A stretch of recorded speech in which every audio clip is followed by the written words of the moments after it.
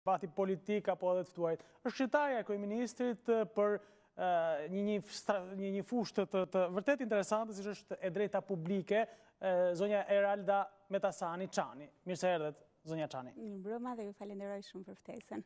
Fakt, gjithmonë ata që rrinë pas dhe këshillojnë, janë pak të dukshëm në publik. Kush është këshilltarja e kryeministrit Rama? Ju e prezantuat emrin tani, kështu që unë nuk kam nevojë t'ju t'ju them edhe një herë emrin, megjithatë mund të bëj një profil të shkurtër timin. ë Eksperienca ime themelore ka qenë ajo në fushën akademike, që në vitin 1998 jam pjesë e Fakultetit Drejtësisë të Universitetit Tiranës.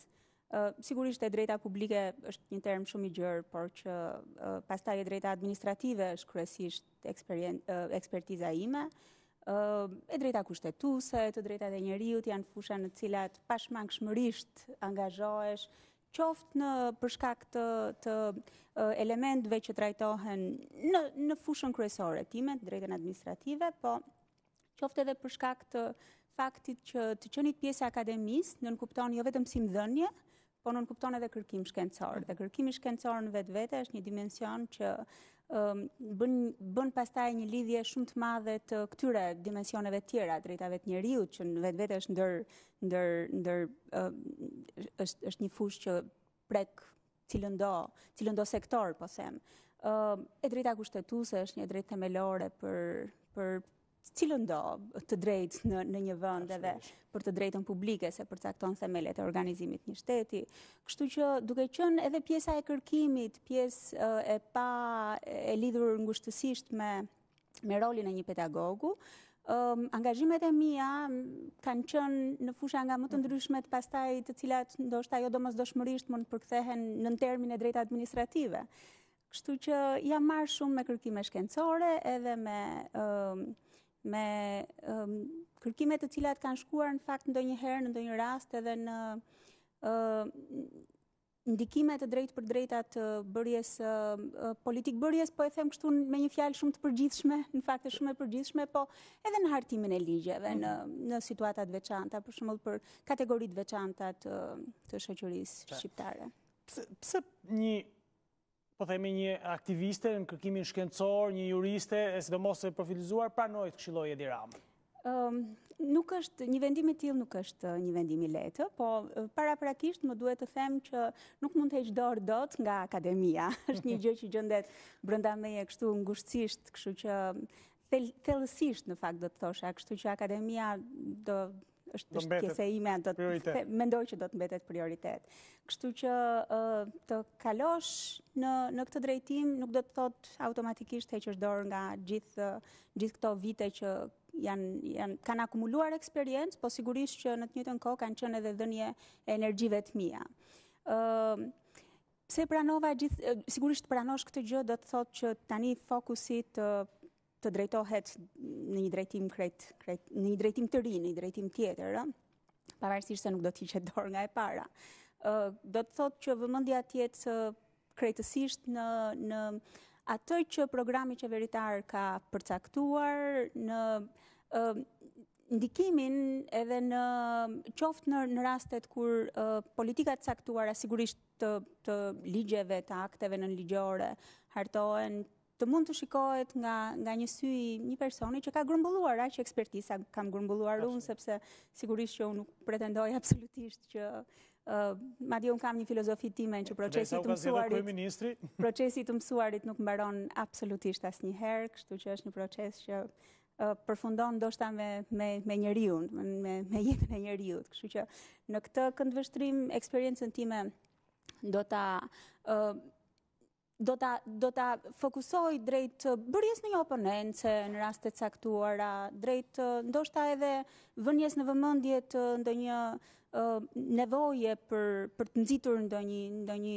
ndryshim, ndonjë program të ri, ndonjë ndonjë drejtim të ri në një sektor të caktuar që sipas sipas eksperiencës time të grumbulluar deri tani, po edhe sigurisht sipas gjithë uh, grupeve të ndryshme të shoqërore që që bëjnë analiza, bëjnë vlerësime dhe i sjellin në vëmendjen tonë nëpërmjet raporteve, nëpërmjet studimeve, do t'i përkthej edhe ato në në në në ndikime të drejtpërdrejta të të nxitjes së ndonjë procesi të caktuar legjislativ. Mhm. Atëherë kur nuk ka ardhur natyrshëm nga nga poshtë lart, po themi nga ministritë, nga institucione të cilat natyrshëm prekin përditë fusha të, të veçanta edhe e dinë se çfarë nevoje ka për, për ndryshime në, në fushën e të drejtës publike, po them tani për ta futur në kornizën e asaj që më duhet të bëj. Ka kaluar një muaj që kur këshilloni zotin Rama, edhe sigurisht edhe një lloj diferencimi të paktën nga aktiviteti i përditshëm që keni pas, a është, a është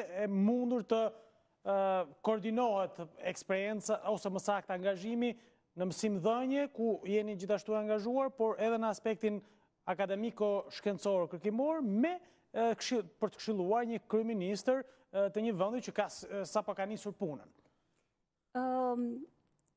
Sigurisht që muaj i parë ka qenë një muaj i parë. Dhe në një muaj të tilë, kuptohet se si do të do të vendosen piketat themelore të të vijimit të punës në radhë të parë. Në radhë të dytë uh, a ka qenë e lehtë. Në fakt uh, procesi akademik në Shqipëri nuk uh, ai i mësimdhënies së përditshme.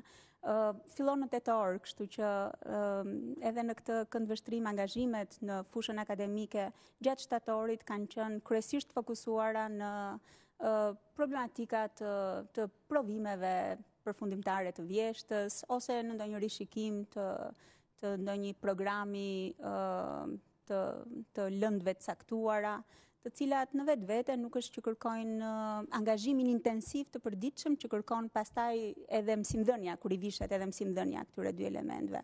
Po, sigurisht që nuk është e lehtë, për arsye se muaj i parë vendos, thashë edhe një herë është muaj fillestar që vendos drejtimet e caktuara, e caktuara, kështu që në këtë këndvështrim jo nuk ka qenë e lehtë, ka kërkuar orë shumë më të mëdhaja të të angazhimit në punë se sa normalisht mund mund t'i kem pasur më përpara.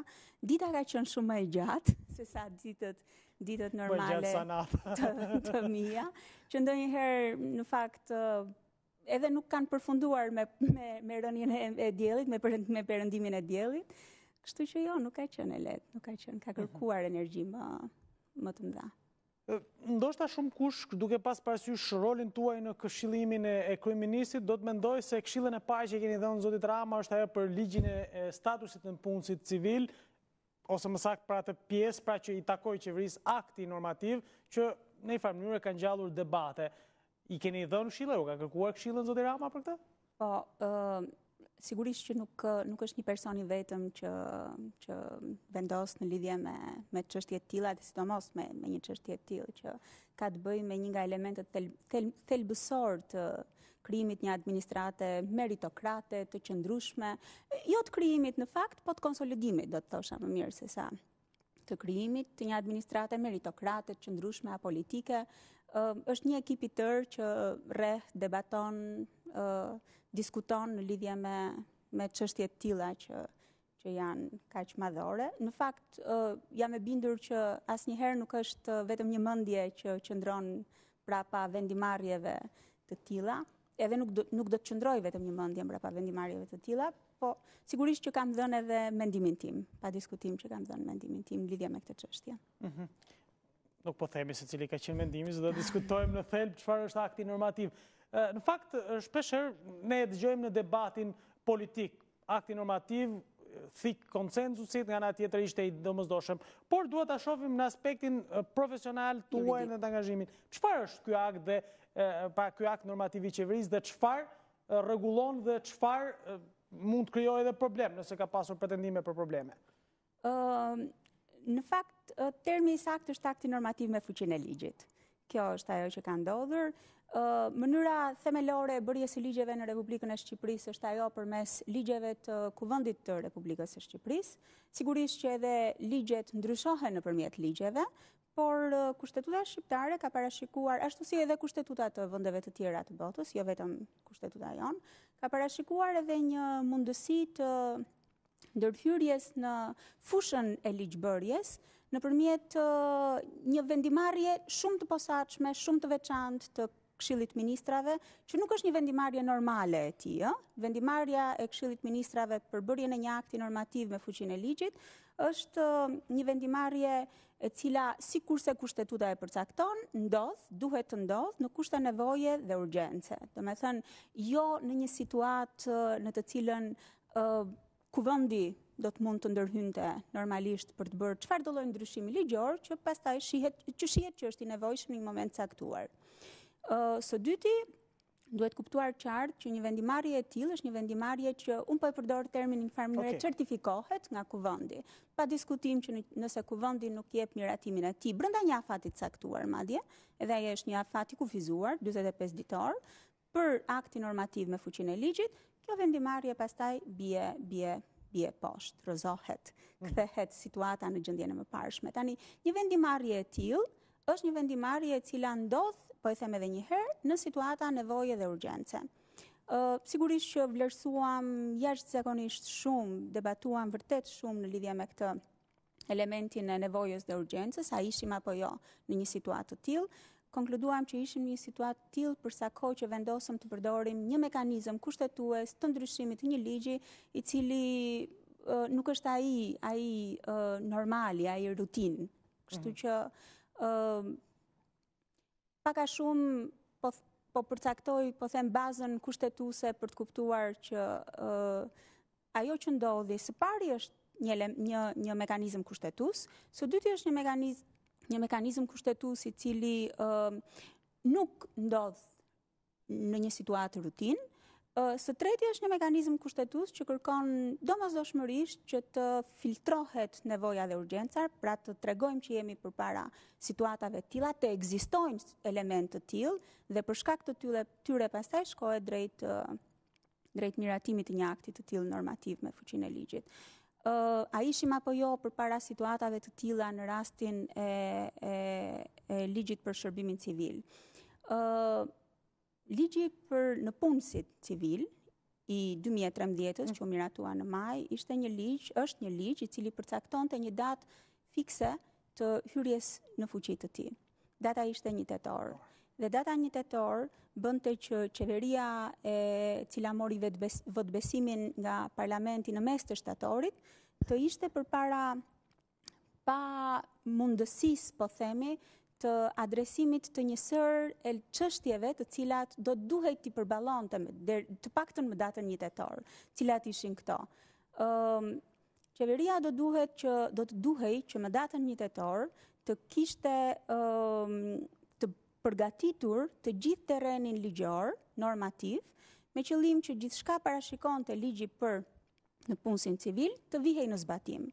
Ky terren normativ për fat të keq nuk ishte nuk ishte i përgatitur, nuk nuk u gjendën të gjithë të gatshëm të bërë, të gjithë aktet nënligjore të cilat do ta detajonin ligjin dhe kështu do ta bënin atë të mhm. zbatueshëm. Ligji në vetvete duhet kuptuar që ligji në vetvete është një ligj. Duhet ta dimë edhe se çfarë është ligji sepse po debatohet me sa duket për një gjë që ndoshta qytetarët ende nuk e kanë kuptuar, aq më pak administrata publike. Ligji në vetvete është një reformim i ligjit të vitit 1999 për shërbimin civil.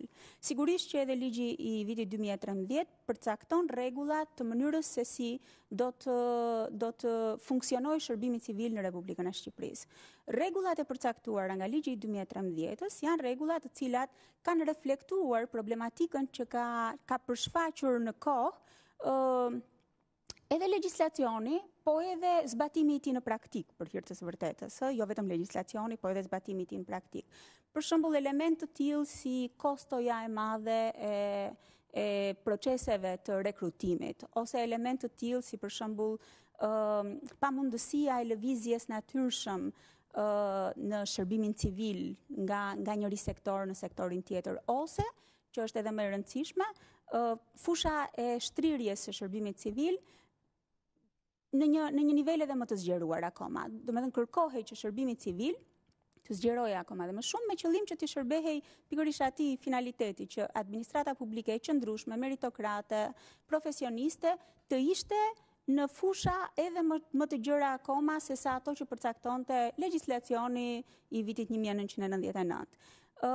Elementë të tillë janë pasur parasysh nga hartuesit e ligjit të vitit 2013 të shërbimit civil, të nëpunësit civil, dhe janë reflektuar aty. Kështu për shembull ligji zgjeron fushën e shtrirjes së tij, pra shërbim civil quan edhe institucione të cilat më parë nuk kanë qenë të mhm. tilla. Për shembull? Për shembull institucione të varësisë, për shembull komunat, komunat nuk kanë qenë pjesë e legjislacionit të shërbimit civil, institucione të varësisë, sigurisht jo të tëra, por një pjesë e institucioneve të varësisë nuk kanë qenë pjesë e legjislacionit, pra nuk i nënshtroheshin legjislacionit të shërbimit civil. që do të thotë elementet që gjenden në thelbin e këtij legjislacioni, nuk reflektoheshin në rekrutim, në ngritje në detyrë, në vendosje të një infrastrukture, po themi tani të të të të tillë për punonjësit nëpër komuna apo nëpër institucionet e varësisë që të bënte t'i bënte ato të reflektohet, të reflektonin në punën e tyre të përditshme edhe eficiencë, edhe mungesë ose mirë të themi përjashtim sa më shumë që të ishte i mundur i konfliktit të interesave apo i elementëve abuziv në ushtrimin e detyrës. Kështu që shtrirja e e zbatimit të ligjit ishte një nga një nga është një nga risitë e mëdha që ka sjellë që sjell ligji për për shërbimin civil. Një risi tjetër është edhe procesi i rekrutimit. Ndryshon procesi i rekrutimit në thelb do të kalohet përmes, nëpërmjet këtij ligji, kalohet përmes një rekrutimi masiv, po them. Unë sigurisht masiviteti këtu duhet kuptuar, nuk flitet për një proces rekrutimi që nënkupton një konkurs që do të bëhet për gjithë administratën publike, por me sektorë dhe me grupe të caktuara. Po ama nuk do të kemi konkurse të posaçme për pozicione vakante të cilat ndodhin, sa herë ndodhin nëpër cilindo institucion që të ndodhin.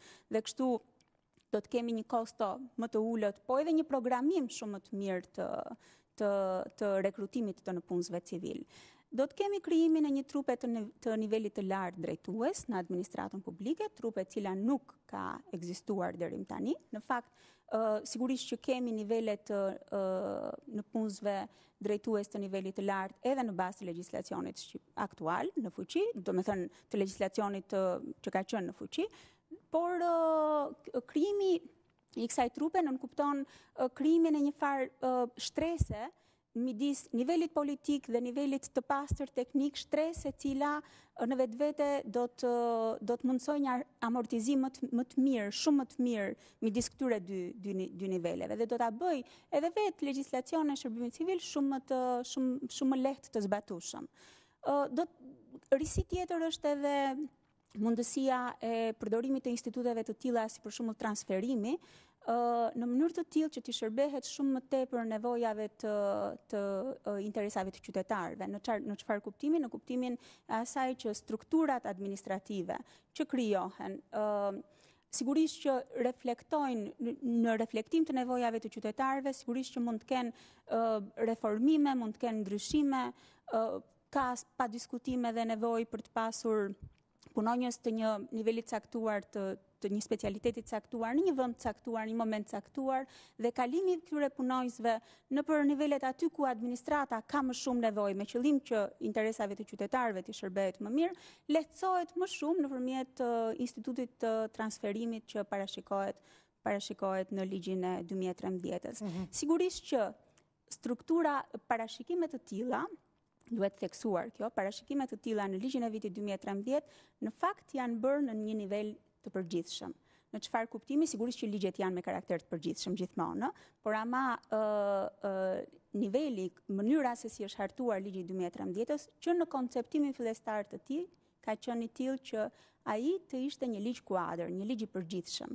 Dhe po ta vëresh nëpër të gjithë tekstin e ligjit kërkohen ë Unë po them 30, po sigurisht që pastaj duhen parë se si do të zbërthehen ato 30, mhm. 30 momente kur Këshillit të Ministrave i ngarkohet të bëjnë akte nënligjore me qëllim detajimin e këtyre instituteve të cilat përmenden, përmenden në ligj. Mhm. Aktet nënligjore në fakt janë të domosdoshme, për arsye se pa to institute të tilla janë pastaj të pamundura të të aplikohen. Çështja e rekrutimeve është një problematikë që të paktën ligji shpreson të japë. Përmendët që pak më parë çështjen e rekrutimeve masive.